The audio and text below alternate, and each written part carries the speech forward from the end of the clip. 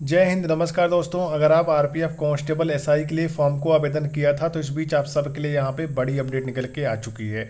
आप सभी जानते होंगे कि एसआई का फाइनली यहाँ पे एग्ज़ाम डेट जारी कर दिया गया है, और जो कि एग्ज़ाम आप सभी का यहाँ पे दिसंबर के मंथ में शुरू हो रहा है, यानी अगले महीने में एग्ज़ाम एसआई का शुरू हो रहा है।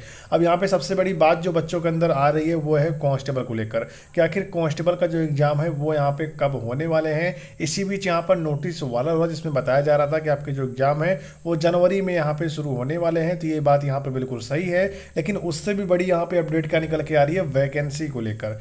जो बच्चे यहाँ पे पोस्ट को लेकर परेशान है कि आखिर इतनी नंबर ऑफ़ वैकेंसी जो है, वो यहाँ पे कितनी है और ये वैकेंसी बढ़ने वाली है, ये बात यहाँ पर फिक्स हो चुका है। और सबसे बड़ी बात यहाँ पे क्या निकल के आ रही है कि अब हम यहाँ पे एग्ज़ाम की तैयारी को कैसे करेंगे, क्योंकि अब समय जो है काफ़ी करीब आ चुका है। तो चलिए फिर वीडियो को शुरू करते हैं और हर एक जानकारी मैं आपको इस वीडियो देने वाला हूँ। साथ ही मैं आप सबको यहाँ पे फॉर्म स्टेटस चेक करके दिखाने वाला हूँ। कांस्टेबल का। इसको लेकर बच्चे लगातार परेशान थे कि आखिर कांस्टेबल का फॉर्म शीटर चेक करते समय यहाँ पर क्या अपडेट आ रहा है, वो मैं चलिए आपको इस वीडियो में दिखा देता हूँ।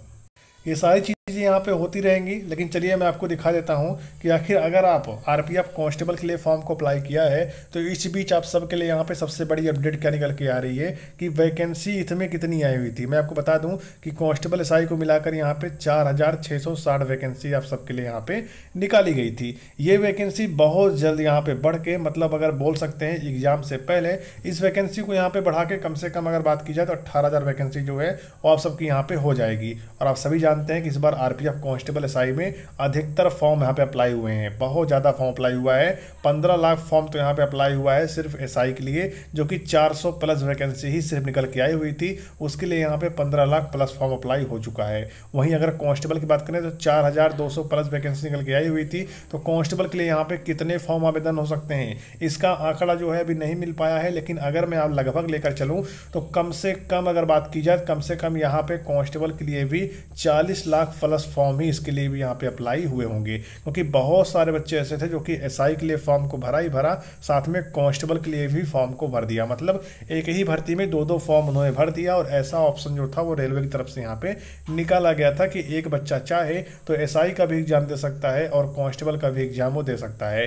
तो अगर दोनों को मैं मिला के बात करूँ तो अप्रॉक्सीमेटली यहाँ पे पचास लाख प्लस फॉर्म आपके भर रहे हैं। करीब पचपन लाख के समथिंग यहाँ पर चार हज़ार दो सौ साठ पोस्टों के लिए। सही दोस्तों, चार हज़ार छः सौ साठ वैकेंसी के लिए यहाँ पर अगर मैं फॉर्म की बात करूँ तो लगभग यहाँ पे पचपन लाख के करीब यहाँ पर फॉर्म जो है, वो अप्लाई हुआ है। और सबसे बड़ी बात यहाँ पे क्या निकल के आ रही है कि आरटीआई द्वारा रिप्लाई यह आया था कि सिर्फ़ यहाँ पे एसआई के बारे में बताया गया कि एसआई के बारे में पंद्रह लाख आवेदन जो है, वो हुए हैं। कितने हुए? पंद्रह लाख। लेकिन कॉन्स्टेबल का जो अपडेट था, वो नहीं दे पाए क्योंकि कॉन्स्टेबल के बारे में जानकारी इकट्ठा हो रही थी। मतलब प्रोसेस जो था, वो चल रहा था। और जैसे प्रोसेस यहाँ पे कंप्लीट होगा तो कॉन्स्टेबल के बारे में भी अपडेट जो है आगे आने वाले समय में आपको मिल जाएगी। अब यहाँ पे बड़ा मुद्दा रहा एग्ज़ाम को लेकर तो एग्ज़ाम आप सबका यहाँ पे बहुत करीब है। लग जाइए आप सभी तैयारी में। अब दोस्तों, अगर आप सभी आरपीएफ कांस्टेबल की तैयारी कर रहे हैं और आप सभी अगर 100 परसेंट सिलेक्शन पाना चाहते हैं तो आप सभी इस जीएस और इस मैथ और इस रीजनिंग के क्वेश्चन को लेकर पढ़ लीजिएगा। कुल आप सभी को 4000 प्लस प्रश्नों का संग्रह मिलने वाला है। इसमें आप सभी को प्रश्न और उत्तर आपको दोनों दिए जाएँगे। ये क्वेश्चन आप सबके, ये क्वेश्चन ही नहीं है, ये सिलेक्टेड क्वेश्चन है, ठीक है? इसी में आप सभी को पिछले साल के भी कुछ क्वेश्चन इंक्लूड है मतलब सम्मिलित है इन चार हज़ार में। आप अगर इसे लेकर पढ़ते हैं तो अपनी आरपीएफ कांस्टेबल और एस में अपनी एक सीट यहाँ पे पक्की कर सकते हैं। और ये सारी चीज़ें आपको मिलने वाला है सिर्फ़ एट नाइन रुपीज़ में। अगर आप सभी आज यहाँ पे नवासी और नब्बे रुपये लालच ना करते हुए इन पी को लेकर पढ़ते हैं तो आगामी रिज़ल्ट में आप सभी अपना नाम ज़रूर पाओगे। यहाँ पर आप सभी को क्यू कोड दिख रहा होगा। आप स्कैन करके पेमेंट कर सकते हैं और पेमेंट का स्क्रीन लेकर इस व्हाट्सअप नंबर पर भेज देना है और टीम आपको यहाँ पर पीडीएफ दे देगी। आरपीएफ कांस्टेबल एस की तैयारी करने वाले बहुत सारे बच्चों ने लेकर पढ़ा है। कॉम्पिटिशन बड़ा है सिलेक्शन चाहिए तो तैयारी शुरू कर दीजिए। और यहाँ पर जीएस के जिस प्रकार से रेलवे में क्वेश्चन पूछे जाते हैं, वो सारे क्वेश्चन आपको इस चार हज़ार क्वेश्चन में देखने को मिल जाएगा। और मैथ और रीजनिंग के वो टॉपिक आप सभी को इन चार हज़ार के पीडीएफ में देखने को मिलने वाला है, जो कि आपके एग्ज़ाम में हर बार देखने को मिला है। तो अगर आप इन प्रश्न को लेकर पढ़ते हैं तो कहीं ना कहीं आप सभी आरपीएफ कांस्टेबल या फिर एस में अपनी एक सीट पक्की कर रहे होंगे। अगर आपको सिलेक्शन चाहिए तो फटाफट आप सभी क्यूआर कोड स्कैन करके पेमेंट करिए और आपको एट नाइन रुपीज़ पे करके इस व्हाट्सअप नंबर पर स्क्रीन भेज देना है। पीडीएफ आपको यहाँ पर इसी नंबर से भेज दिया जाएगा। हाल ही में आरपीएफ कांस्टेबल साई को लेकर एक नोटिस यहाँ पे जारी किया गया जिसमें कुछ एग्ज़ाम डेट के बारे में बहुत ही विस्तार से बताया गया है। यहाँ पे देखिए, एलपी के बारे में बताया गया है। वहीं अगर आप देखेंगे तो R P F constable constable को छोड़कर यहाँ पे एसआई के बारे में बताया गया है और एग्ज़ाम किस किस डेट पर होने वाला है, डेट यहाँ पे बता दिया गया है। ध्यान दीजिएगा, यहाँ पर दो दिसंबर को आरपीएफ एसआई का एग्ज़ाम होने वाला है, तीन दिसंबर को होने वाला है, नौ दिसंबर को होने वाला है और बारह दिसंबर को आरपीएफ एसआई का एग्ज़ाम होने वाला है। और यहाँ पर अगर हम लास्ट एग्ज़ाम की बात करें तो वो होगा आप सभी का यहाँ पे सत्रह बारह दो हज़ार चौबीस, यानी सत्रह दिसंबर दो हज़ार चौबीस को यहाँ पे लास्ट एग्ज़ाम होने वाला है। उसके बाद अगर हम बात करें तो जनवरी में कांस्टेबल के एग्ज़ाम होने बिल्कुल यहाँ पे फिक्स हैं। और आप सभी को बता दूँ, इसी महीने, यानी नवंबर के लास्ट तक आप सभी को आरपीएफ कांस्टेबल का फॉर्म स्टेटस भी देखने को मिल जाएगा।